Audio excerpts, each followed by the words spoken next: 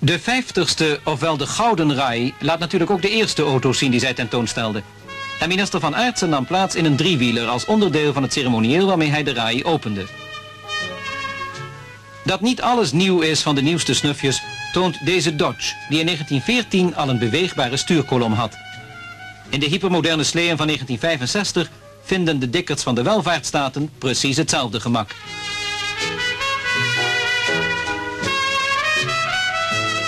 Er is ontzettend veel te kijken, zowel aan auto's als aan inzittenden, die soms op symbolische wijze worden ingekapseld in hun verlangen een autootje te hebben. En dat zijn er langzamerhand zo ontzettend veel, dat er een vermaning kan uitgaan van de inzending van de ambulanceauto's.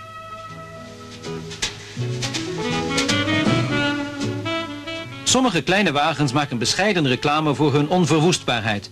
Van het lakwerk althans. En van bescheiden wagens gesproken, de Russische automobielindustrie laat er enkele van op de rij zien die opvallen door hun eenvoud. Zij contrasteren wel met andere wagens. En in het bijzonder met de duurste van de show die 78.000 gulden kost. Maar die komt dan ook uit West-Duitsland. Hij heeft van alles onder de motorkap.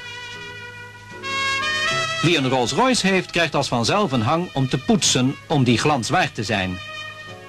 Op die manier krijgt men plezier in kleur en in het spiegelend chroom dat mevrouw het bewijs levert dat ze er goed op staat. De automobielontwerpers denken al ontwerpend voortdurend aan de vrouw en komen zelfs met een stoel die aan haar rug kan worden aangepast. Sommige auto's maken op het eerste gezicht een wat popperige indruk. Maar bij nader inzien verwerpen ze de gezinsbeperking royaal. Autotelevisie is er voor wie het een beetje vervelend vindt om naar buiten te kijken. Hij kan in zijn wagen de landschappen en mensen inwisselen voor decors en acteurs.